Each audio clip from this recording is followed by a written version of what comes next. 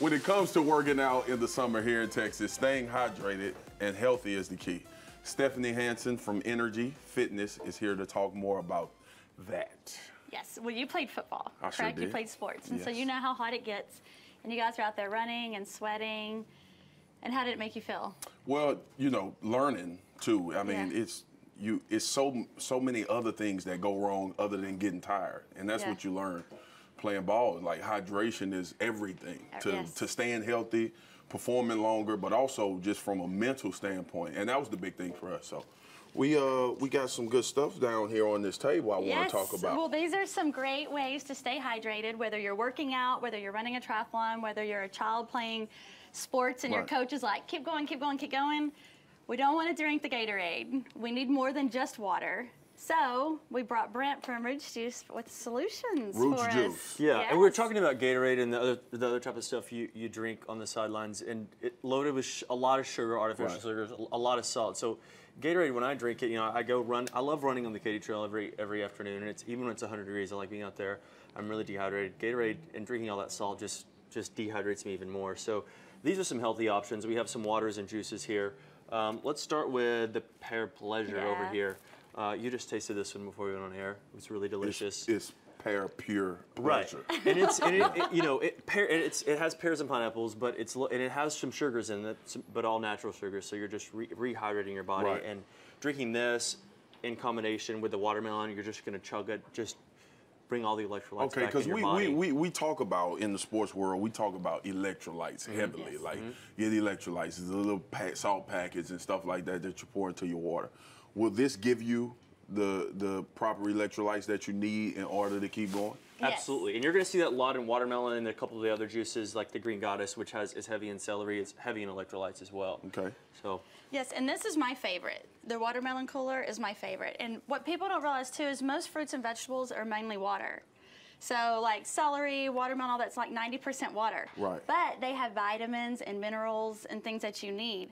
And so it's the minerals and that you when you lose those from like sweating and so forth, that's what you need to replace. Okay. That's the electrolyte effect that you're trying to get. So the mass production of this juice, right? Mm-hmm. So, because when I think of juice, I think at home with the Vitamix or Great. whatever, Yes. dropping just a bunch of vegetables together. How Yeah. do you guys produce so much juice? We have a big juicer, a big commercial Okay. juicer that we, we juice out of, and it, it masticates it. It keeps it really, really cold, about 38 degrees.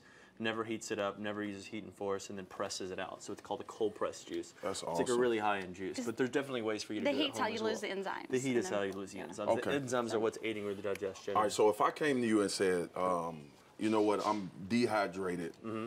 what juice would you pour for me so I can try it now? I would try. I, I would pour the watermelon juice. Do you eat watermelon? Yes, I do. Okay.